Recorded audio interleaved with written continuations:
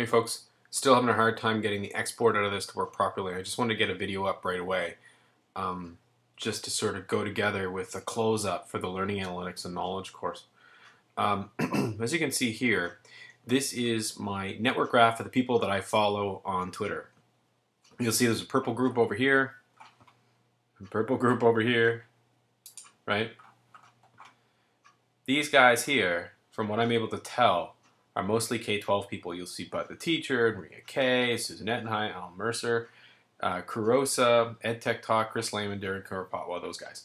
On this side, you've got higher ed, Pat Parslow, Josie Fraser, Stephen Downes, Scott Leslie, Brian Lamb, Seb Paquette, George Siemens, Leigh Blackall, Bryan Alexander.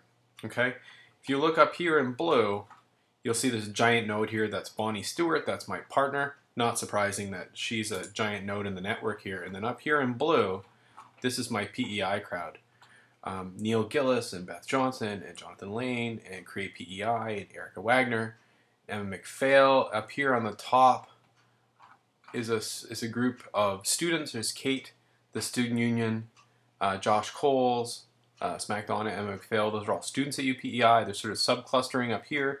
And in green over here, you'll see my students from last summer who I forced to use the Twitters. And these are the students who are still active in here. So what this has done is it's broken my, my uh, Twitter, with the people I follow into Twitter into three major distinct group and then some outliers. Over here, you've got Ego Talking Tree. I follow him through Lord Dalius, who's a guy at the university who I obviously found it through, and then that led me to here. Here's Bethany Adams, um, who I follow also follows the Daily Show, and on the outside with these, you'll see outline. Here's Misty Crony and Sweet Salty. Uh, they're both people that I know uh, through a variety of ways, and they're connected here because they both follow each other in the mommy blogging world. Um, and there are outliers all the way along. Here's um, a guy that is a uh, consultant who works for my university, or uh, works for a company for the, works for my university. There's somebody else I work with. So all these outliers on the outside all have connections to me in different ways, and then you have the main groups in the middle. Pretty crazy, pretty crazy stuff.